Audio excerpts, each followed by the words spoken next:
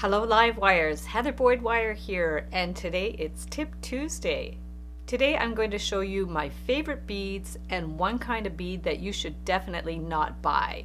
I've been making wire jewelry for 34 years and in this video I'm going to show you my favorite beads that I use for my work and for my tutorials.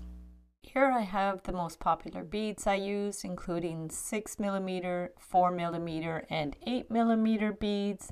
I use miracle beads and also cat's eye beads, semi-precious stones, different sizes of round beads, and also seed beads.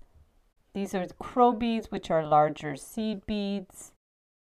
Check the description below the video for this PDF with all my favorite beads.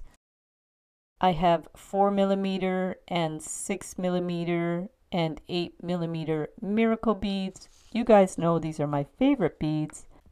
Miracle beads are also known as magic beads and they are made of acrylic resin and have several layers of colored lacquer to give them a 3D quality. I'll link up a tutorial for these dragonflies made with my favorite miracle beads. I also love these glass Czech beads. These are 6 millimeter. I have round and faceted Czech beads and I use them for these charms from the 10 day charm bracelet making challenge. I love these semi-precious stone chips. I have a variety of quartz, rose quartz, hematite, and different mixed ones, and also these real amber pieces from an old necklace. I love these for the trees, they also come in round shapes. They're great for rings. And I have a couple of tutorials that I'll link up below using the stone chips. Hematite is one of my favorites for sure. I have four, six, and eight millimeter sizes that I use a lot. They also come in magnetic hematite, but I don't use these ones at all. And the hematite is beautiful for rings. And then of course seed beads, they come in a variety of sizes and I use the standard 6 slash 0 size for most of my work. You'll see the different sizes here and the larger ones are called crow beads. So in the PDF you'll see the different popular sizes of seed beads. I generally use the six size, but a lot of people use the smaller size. And then of course I use the crow bead size, which is nine millimeter. I've used the smaller seed beads to do the alphabet.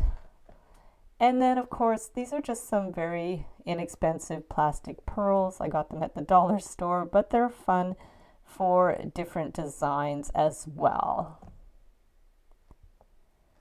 I also love cat's eye beads. These were really popular in the 90s.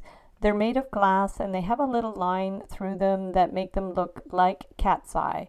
I'll link up a tutorial for my classic daisy earrings made with the cat's eye beads. Here is the bead that you should never buy. These crackle beads were popular about 20 years ago, but I stopped using them when I had a few too many of them explode.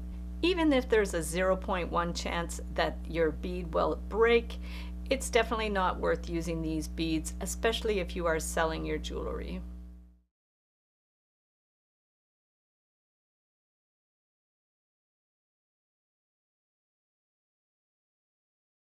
Thanks so much for watching the video. Give it a big thumbs up if you liked it. Be sure to subscribe to my channel for lots more wire art and jewelry making videos.